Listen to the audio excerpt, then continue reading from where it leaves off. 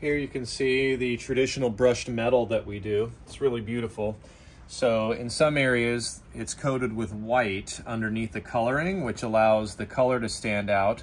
But in other areas, like this yellow part of the hill reflecting the cliff, you can see that the brushed metal is exposed. So it really gives a good um, reflective quality, just like the yellows in the water. So this is a special series like this in the brushed metal. You can order any of my pieces on brushed metal, um, but specific ones will have uh, great details. There's also some good texture in the trees, um, but if you're looking for something that is uh, modern, clean, comes with the backing already on it, ready to hang, um, it's really a beautiful piece um, to have in a room.